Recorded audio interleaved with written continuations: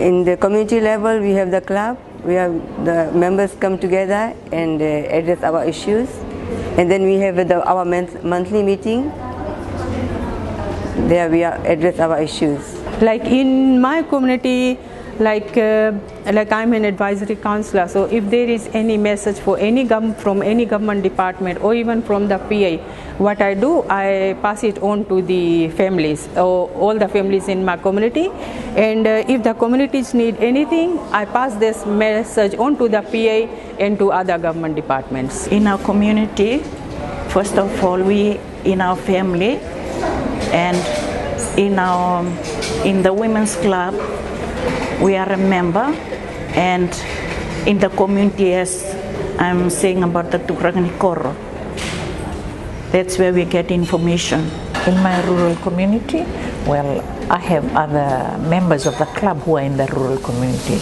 Either we text each other or we phone each other. Unless there is no electricity, we can't do anything more.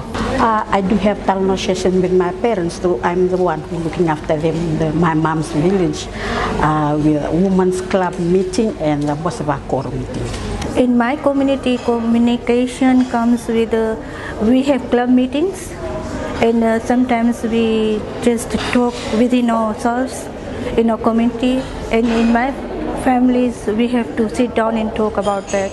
At the moment, or before Femlink came in, it was just radio, TV, and mobile phones. But now we have got Femlink um, connection with us. So I think in future we will have Femlink network where we'll be communicating with people more easily. In terms of a web um, bulletin and communication, I would, uh, speaking from an experience, um, what we go through during a disaster, uh, this incident. Uh, what we normally do within our community to everyone, including women with disability, is that uh, we assure that uh, all our members within the community um, knows uh, the uh, weather bulletin by sending text messages to those who are deaf and also um, sending radios uh, announcement uh, for those who are, are visually impaired and uh, we uh, normally contact them in person in terms of preparedness for disaster for communication. The communication, how it works is um, through radios and through radios and through internet and through TVs. This is how we get all the information. Communication when it is a, a disaster comes, everything is over. No power, nothing. So through SMS, uh, through Women's Weather Watch, we get got the news. In the community, we pass because ladies we are there and pass it on to other ladies so that uh, in SMS communication systems in my community is clear and thorough and the message from Femlink and i passes it to my community.